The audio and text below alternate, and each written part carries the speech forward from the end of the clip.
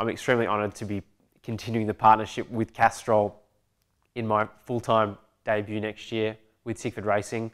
Castrol have been with Tickford now for 20 seasons, so yeah, it's a, it's a privilege that they're going to be on my car for my rookie year and not only have Castrol on the car, but also BP, Ryco Filters, who have been on my cars for this year and are going to extend their support with the team into 2022.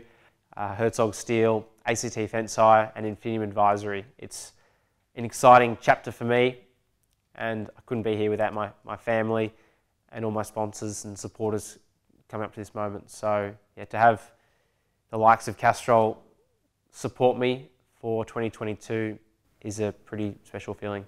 I've used Castrol products for many years and seen the likes of Larry Perkins, Tony Longhurst, you know, even Rick Kelly most recently represent Castrol. So to be, I guess, the next guy to represent Castrol, be their brand ambassador, is yeah, it's an honour. It's a massive step, stepping up full time next year for the entire season. And I've been lucky enough that we did three wildcards this year in a Castrol car. And I think that's put me in really good stead for the 2022 season. So, yeah, lots, lots to still learn, but I just want to hit the ground running.